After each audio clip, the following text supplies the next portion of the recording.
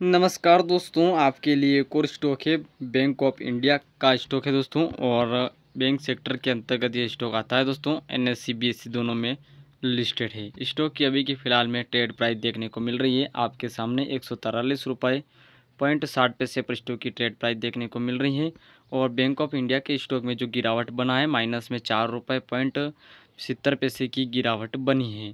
और bank of India के stock में जो गिरावट रिटर्न है माइनस में तीन परसेंट की गिरावट बनी है दोस्तों। अगर आप वीडियो पर पहली बार विज़िट कर रहे हैं तो चैनल को ज़रूर सब्सक्राइब करें, प्यारा वीडियो को लाइक एंड शेयर करना ना भूलें दोस्तों।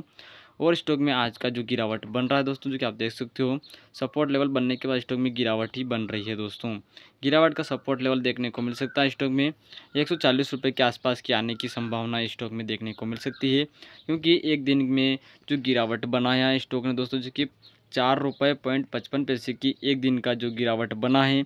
और स्टॉक में दोस्तों, जो कि चार रुपये की गिरावट कोई मामूली बात नहीं है, स्टॉक में गिरने की संभावना है। दोस्तों, और अगर आपको सटीक जानकारी अच्छी लगी हो तो चैनल को ज़रूर सब्सक्राइब करें। प्यार को लाइक एंड शेयर करना ना भूलें। वित्तीय जोखिम की संभावना हो सकती है। कृपया अपनी ज़िम्मेदारी पर निवेश करें। दोस्तों, मिलते हैं अगले वीडियो में। जय हिंद, जय भारत।